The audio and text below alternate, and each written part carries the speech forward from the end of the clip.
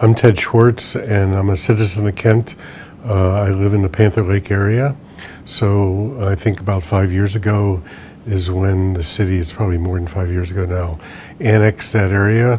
But uh, I've lived in the house that we live in now for 33 years, so I've always considered myself a citizen of Kent. Cultural Connections. Join us as we explore the diversity of Kent.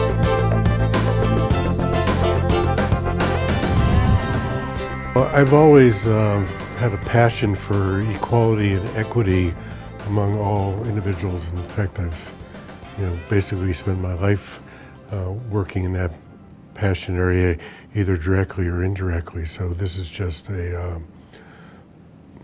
one step along that, that path. Uh, I was on the Kent Human Services Commission for six years, um, and that tenure ended this last December, and I learned about this um, committee and decided I wanted to continue. I've been going to, and now I can't remember the name of it. Um,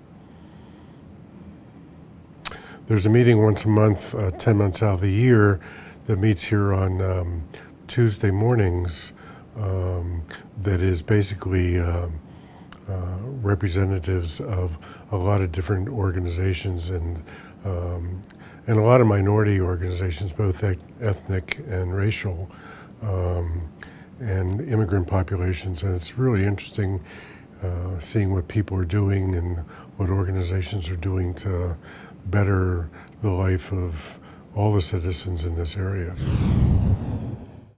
I think there's maybe three things. Um, one is that I am very opening um, to listen to people's opinions and ideas, and I'm not so inflexible that I just cast them aside. Um, a second thing is I really want to be supportive of um, issues that come up that people would like to work on. I'm not very interested in leading the pack. Uh, but I want to be very supportive of whatever they do. And I have time, so, you know, uh, between meetings or whatever, if the things that we need to work on are small groups that need to get together to, you know, formulate uh, more detailed stuff, uh, I would be more than happy to participate in that. I was biking on the Green River Trail the other day, and it was really neat to see the um, um, the different uh, ethnic groups um, hang, it was on, I forget if it was a Saturday or Sunday, but they, the place was packed. Um, and that was really neat. And I would like to see that occur, for example, in every venue that uh, is open to the citizens of Kent. You know, uh, I guess what I think about is inclusiveness. I think, I mean, that's something that's been my passion all along. And I want everybody to feel comfortable um, living and working and socializing in Kent.